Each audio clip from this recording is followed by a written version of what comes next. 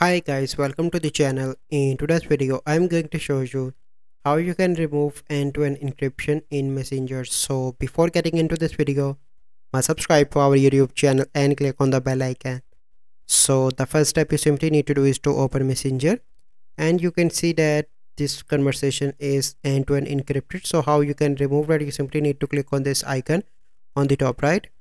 But uh, once you click on that, here you can see there is no option to remove so once I click on that I am unable to remove there is no other option. So the only method possible is you simply need to click on this icon and click on three dots on the top right and click on delete conversation.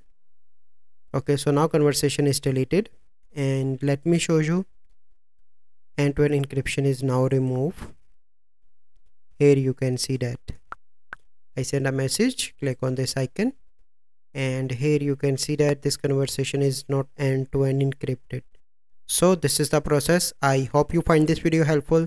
If you find this video helpful must like this video. Subscribe to our youtube channel for future videos. We'll see you in the next video. Thank you. Have a good day